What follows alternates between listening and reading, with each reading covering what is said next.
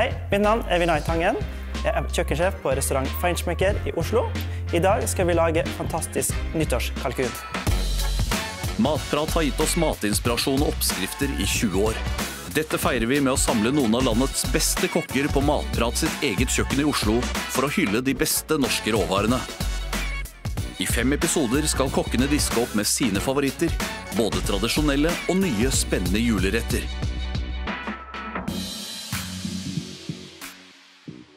Her har vi kalkunen vi skal lage, og vi skal begynne med å marinere den med salt. La den stå og trekke i saltet.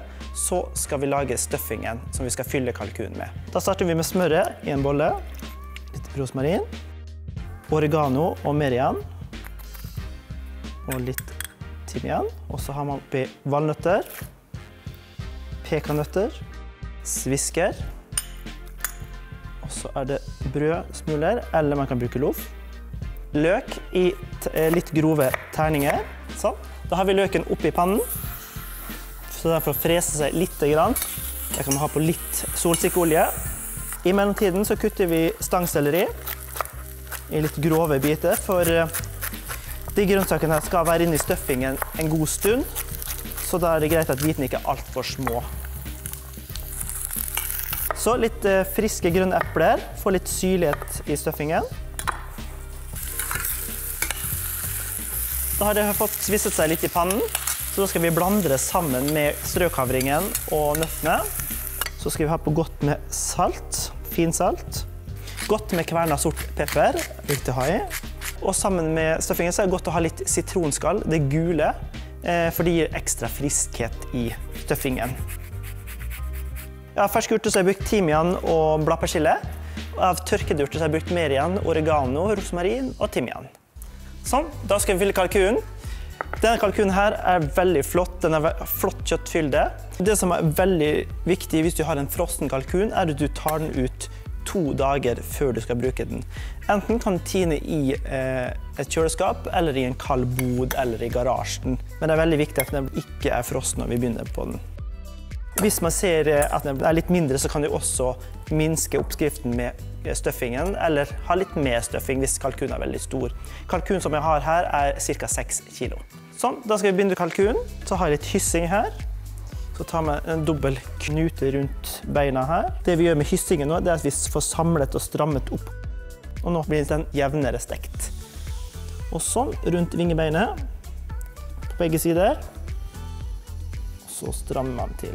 Nå har kalkunen stått en times tid med salt på.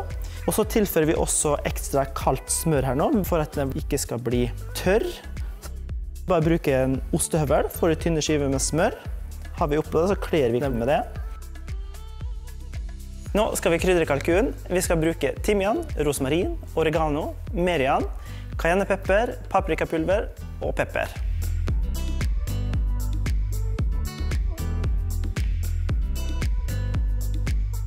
Ovnen er forvarmet på 180 grader. Der skal den stå i en time før vi setter ned temperaturen til 140 grader. Underveis skal vi øse over litt urtesmør som tilfører saftighet og fuktighet under steking. Da skal vi lage et av tilbehørene til kalkunen. Mange koker blomkål. Det jeg tenkte jeg gjøre, er å bake blomkål. Veldig enkelt er at man kutter av bunnen, tar bort de bladene så man får en stabil, flat bunn under. Da skal vi lage krydderblandingen til blomkål. Til det trenger vi litt stjerneanis, fire einebær og en god klype, en teskje med fennikelfrø.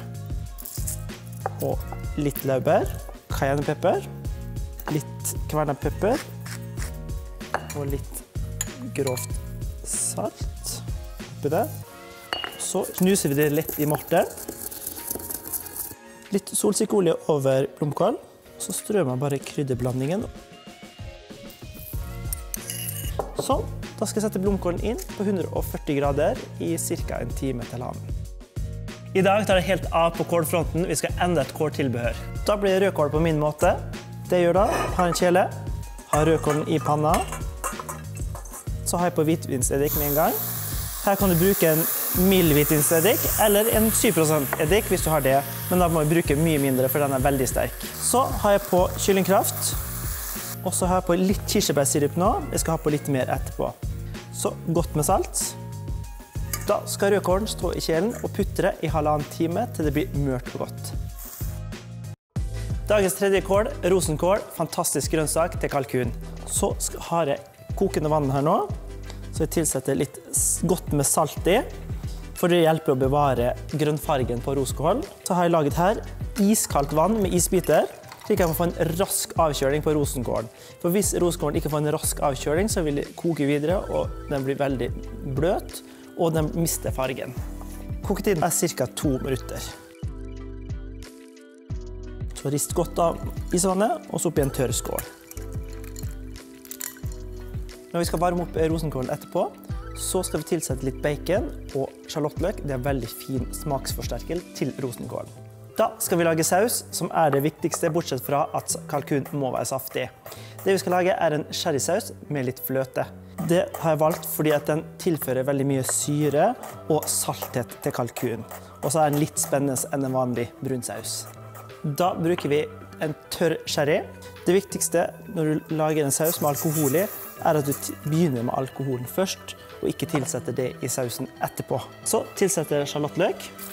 Så har vi oppi litt fennikelfrø og litt enebær. Og så et lite laurbærblad. Da har sherryen kokt ned til en tredjedel. Så tilsetter vi kraften så skal det også koke ned til en tredjedel igjen.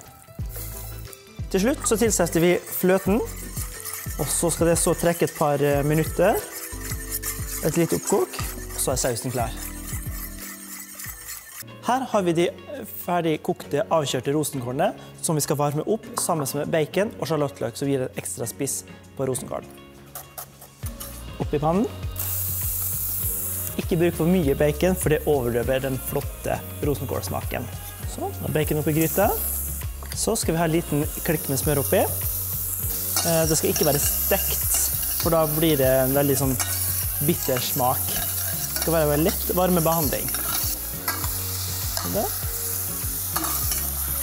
Da er rosenkål klar til servering. Wow! Sjekk den gylne, flotte kalkunen. Da skal kalkunen få hvile i 10-15 minutter før vi skal servere den. Nå er det big moment her. Det ser vel fantastisk ut.